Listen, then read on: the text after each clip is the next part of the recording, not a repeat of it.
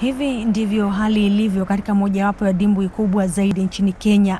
Dimbwi la Ondiri liko katika hatari ya kukauka, kwani maji yake yanafyonzwa kwa mabomba makubwa ili yakidhi mahitaji ya wakazi wa eneo la Kikuyu.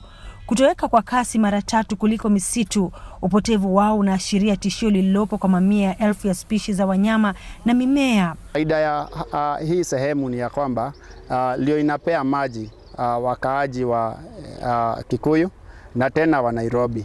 Ile maji ambayo iliwekwa ya mfereji uh, Nairobi ilianza hapa 1906. Kwa hivyo unaona ya kwamba hii ni sehemu ambayo ina faida sana katika hii nchi, na tena ule mto mkubwa sana katika hii nchi yetu Jamhuri ya Kenya ambao unaitwa Athi River ama mto wa Athi imetoka hapa Undiri. Kwa hivyo hii ni sehemu ambayo hatuwezi sema ati tunaweza isahau ama tunaweza sema ati ya kwamba uh, isitunzwe vizuri.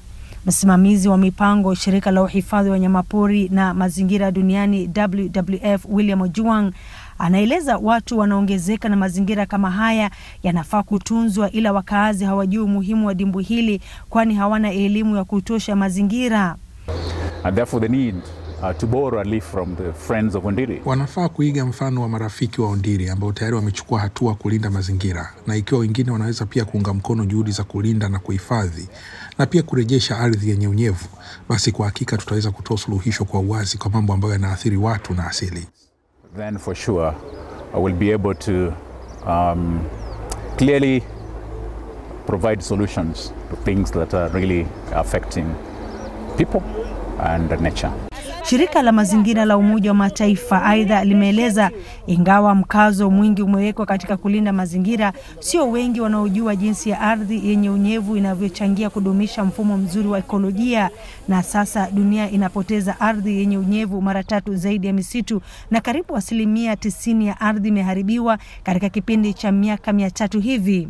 When we protect and when we use wisely, Tunapolinda na kutumia kwa busara na kurejesha ardhi yenye unyevu, tunalinda kile ambacho ni muhimu zaidi, kwa sababu watu bilioni nne wanategemea huduma za ardhi zenye unyevu. Kwa sasa ni maeneo sita tu yenye unyevu na maji yanayotambulika kimataifa kuwa muhimu.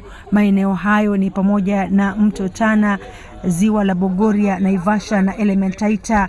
Maeneo haya yanapatikana kwenye asilimia kati ya tatu na ardhi ambayo inaweza kuongezeka wakati wa msimu wa mvua. Kwa sasa kinachohitajika kufanyika ni sheria mwafaka kuwekezwa ili kuhakikisha maeneo yenye unyevunyevu na majimaji yanalindwa kutokana na shughuli za kibinadamu na watu kuyaingilia.